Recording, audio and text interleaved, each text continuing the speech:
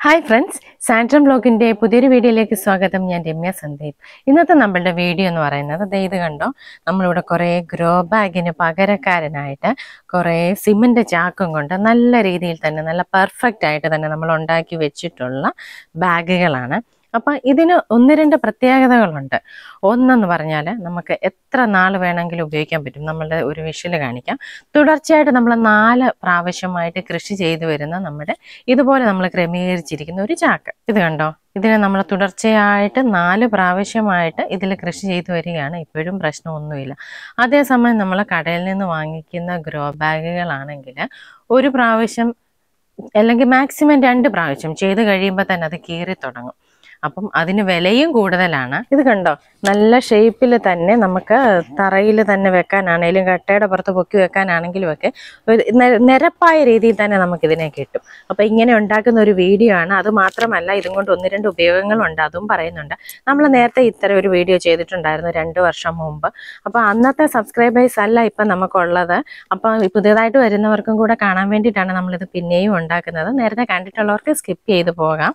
അപ്പം ഇത് നമ്മൾ ഈ ചാക്ക് കിട്ടാനായിട്ട് ബുദ്ധിമുട്ടുണ്ടെന്ന് തോന്നുന്ന ആളുകൾക്ക് നമുക്കിത് പിന്നെ ഈ റോഡ് പണിയൊക്കെ നടക്കുന്നിടത്തായാലും ബിൽഡിംഗ് പണിയൊക്കെ നടക്കുന്നിടത്തായാലും അവരിതിന് ഉപയോഗിക്കുമ്പോൾ നമ്മൾ നേരത്തെ പോയി ഒന്ന് പറഞ്ഞാൽ മതി. കാരണം ഇത്തരം ചാക്ക് ഇതുപോലെയുള്ള സിമെന്റ് ചാക്കാണ് നമുക്ക് കിട്ടുന്നത്. ചിലപ്പോൾ പണി നടക്കുമ്പോഴേ ആളുകൾ ഇതുണ്ട് അവർ പൊട്ടിച്ചിടാനുള്ള എളുപ്പത്തിന് ഈ നടുക കീറിയിട്ടങ്ങ് തട്ടിയിടാറുണ്ട്. അപ്പോൾ അവരോട് നേരത്തെ പറയണം മുകളിൽ നിന്ന് തന്നെ ഇങ്ങനെ കട്ട് ചെയ്തിട്ട് എടുക്കാവുള്ളൂ എന്ന് പറയണം. അപ്പം നമുക്ക് എങ്കിൽ മാത്രമേ നമുക്കിത് ഉണ്ടാക്കാനായിട്ട് പറ്റത്തുള്ളൂ. ഇത് മാത്രമല്ല നമുക്ക് നമ്മൾ വീട്ടിൽ അരിച്ചാക്ക് അരി വാങ്ങിക്കത്തില്ലേ? അരിച്ചാക്ക്. അതിൽ പത്ത് കിലോയുടെ ആയാലും കൊച്ചു വിളകളാണെങ്കിൽ അഞ്ച് കിലോയുടെ ആണെങ്കിലും ഒക്കെ നമുക്ക് എടുക്കാം ഇതുപോലെ. അപ്പോൾ ഇതും നമ്മൾ ഇതുപോലെ ആക്കി വെക്കുന്നുണ്ട്. അപ്പോൾ അതിന്റേതും കാണാം. അപ്പോൾ വീഡിയോയിലോട്ട് പോകുന്നതിന് മുമ്പ് നമ്മുടെ യൂട്യൂബ് ചാനൽ ഇതുവരെ സബ്സ്ക്രൈബ് ചെയ്തിട്ടില്ലാത്ത സുഹൃത്തുക്കൾ ദയവായി ഒന്ന് സബ്സ്ക്രൈബ് ചെയ്യുന്നതിനും തൊട്ടടുത്തുള്ള ബെല്ലൈക്കൻ എനേബിൾ ചെയ്യുന്നതിനും മറക്കരുത്. അതുപോലെ ഫേസ്ബുക്കിലാണ് നമ്മുടെ വീഡിയോസ് കാണുന്നതെങ്കിൽ പേജ് ലൈക്ക് ചെയ്യാനും അതുപോലെ ഷെയർ ചെയ്ത് മറ്റു സുഹൃത്തുക്കളിൽ എത്തിക്കുന്നതിനും മറക്കരുത്. അപ്പോൾ നമുക്കിത് എങ്ങനെ തയ്യാറാക്കുന്നതെന്ന് നോക്കാം. അപ്പോൾ ഇത് ഉണ്ടാക്കാനായിട്ട് നമുക്ക് വേണ്ടുന്നത് സിമെന്റ് ചാക്ക് പിന്നെ ഇതുപോലത്തെ പ്ലാസ്റ്റിക്കിന്റെയോ അല്ലെങ്കിൽ ചെറിയ പിന്നെ കയറോ എന്തെങ്കിലും വേണം. അതുപോലെ തന്നെ കത്രിക. അപ്പം നമ്മൾ ഇത് പറഞ്ഞല്ലോ ഇതുപോലെ ഈ ഈ ഭാഗം കട്ട് ചെയ്തായിരിക്കും എടുക്കുന്നത്. അപ്പോൾ നമുക്ക് ഇവിടുത്തെ ഈ ഒരു പാർട്സ് കംപ്ലീറ്റ് കട്ട് ചെയ്ത് കളയാം.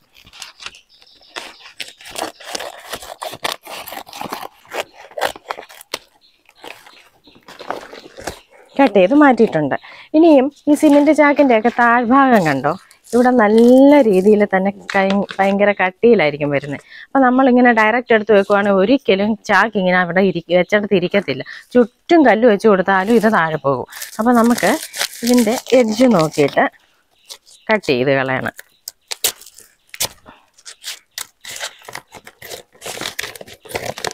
ഈ അടിയിലെ കട്ടിയുള്ള ഭാഗം നമ്മൾ മുറിച്ച് കളയുന്നു.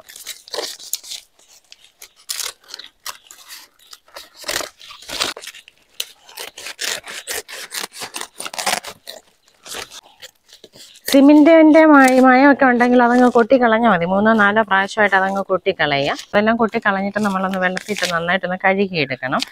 ഇതിപ്പം രണ്ട് സൈഡും തേണ്ടി ഇതുപോലെ ഹോളായിട്ടുണ്ട്. കണ്ടോ? അപ്പം ഈ സൈഡ് കളറൊക്കെ ഉള്ള രീതിയിലും അകത്ത് വൈറ്റ് കളറും ആയിരിക്കുമല്ലോ അപ്പം നമുക്ക് ഏതാ വേണ്ടതെന്ന് വെച്ചാൽ നമുക്ക് തിരഞ്ഞെടുക്കാം. നമ്മൾ ഉണ്ടാക്കി വെച്ചിരിക്കുന്ന എല്ലാം എന്തുണ്ട്? ഈ യെല്ലോ കളർ പുറത്ത് വരുന്ന രീതിയിൽ. അങ്ങനെ വരണമെന്നുണ്ടെങ്കിൽ നമ്മൾ ഇതിനെ ആദ്യം ഒന്ന് തിരിച്ചിടണം.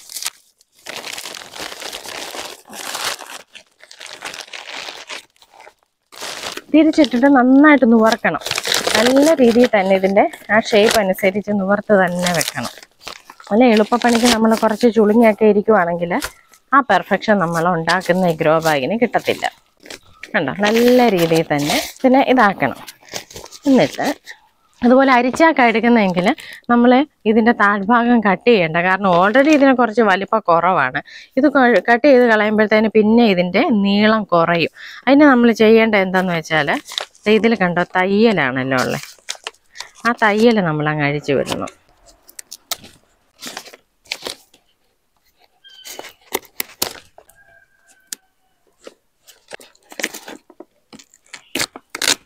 നമ്മൾ ഈ തയ്യൽ ഒന്ന് പൊട്ടിച്ചിട്ട് ഇങ്ങനെ അങ്ങ് വലിച്ചാൽ തന്നെ ഇതങ്ങ് അഴിഞ്ഞു കിട്ടും.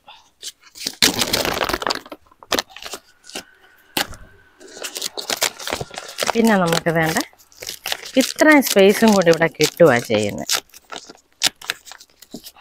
കണ്ടോ? പിന്നെ നമുക്ക് ഇത്രയും നീളം കൂടി ഇവിടെ കിട്ടി. അപ്പോൾ പിന്നെ നമുക്കിത് നല്ല വലുപ്പത്തിൽ തന്നെ ഇതിനെ എടുക്കാനായിട്ട് പറ്റും. നമുക്കിതിന് വേണ്ടുന്ന വള്ളി മുറിച്ച് വെക്കണം. വള്ളി എടുക്കുമ്പം നമ്മൾ ഇച്ചിരി നീളത്തിൽ തന്നെ എടുക്കണം. അത് എന്തിനാണെന്ന് പറയാം. അതൊരു അപ്പോൾ ഇതുപോലെ നീളത്തിൽ വള്ളി എടുക്കുന്നതുകൊണ്ട് നമുക്ക് വേറെ പ്രയോജനമുണ്ട്. അപ്പോൾ അതെന്താണെന്ന് പറയാം. ഇതിപ്പോൾ നമ്മളിത് ഇങ്ങനെ ആക്കി വെച്ചല്ലോ. ഇതിനെ നമ്മൾ രണ്ട് സൈഡിൽ നിന്നും ഒരുപോലെ ബലത്തിൽ തന്നെ പിടിച്ച് ഒന്നിച്ചാക്കും. ഞൊറിഞ്ഞെടുക്കുന്നത് പോലെ ഇങ്ങനെ തന്നെ എടുക്കണം. അല്ലെങ്കിൽ തറയിൽ ഉറച്ചിരിക്കത്തില്ല. അതിനുശേഷം നമ്മൾ എടുത്തു വെച്ചിരിക്കുന്ന വള്ളിയുടെ ഒരു സൈഡും കൊണ്ട് ഇതിനെ മുറുക്കി കെട്ടണം. മാക്സിമം ടൈറ്റായിട്ട് മുറുക്കി കെട്ടണം. ഒരു സൈഡ് ഫ്രീ ആയിട്ട് തന്നെ ഇട്ടേക്കണം. നന്നായിട്ട് തന്നെ മുറുക്കി കെട്ടണം.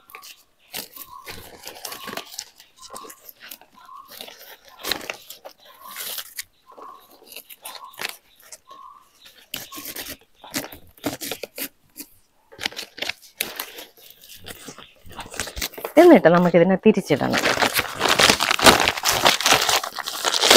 കൃഷി ചെയ്യുന്നവർക്ക് ഏറ്റവും വലിയൊരു ബുദ്ധിമുട്ടാണ് എന്തിനകത്ത് കൃഷി ചെയ്യും? മണ്ണിൽ നട്ടാൽ പെട്ടെന്ന് മണ്ണ് പുളിപ്പരസമാകുമോ പിന്നെ അല്ലെന്നുണ്ടെങ്കിൽ വളം അധികമായിട്ട് ഇടയ്ക്ക് മഴ വരുമ്പോൾ പോകുമോ? അങ്ങനെയൊക്കെ ഒത്തിരി പ്ര- പ്രശ്നങ്ങളുള്ളവരുണ്ട്. അതുപോലെ ടെറസിൽ കൃഷി ചെയ്യുന്നവർക്ക് ഒക്കെ ഇത് വളരെ ഉപകാരപ്രദമാകുന്ന രീതിയിലുള്ളതാണ്.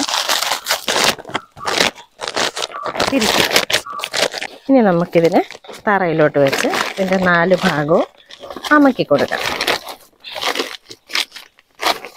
അപ്പം നമ്മൾ അതിൽ കൈയൊക്കെ വെച്ച് അമക്കി അതിനെ നല്ല റൗണ്ടാക്കി എടുത്തിട്ടുണ്ട്. ഇനിയും നമുക്ക് ഇതിന്റെ മുകൾ ഭാഗം മടക്കി കൊടുക്കാം.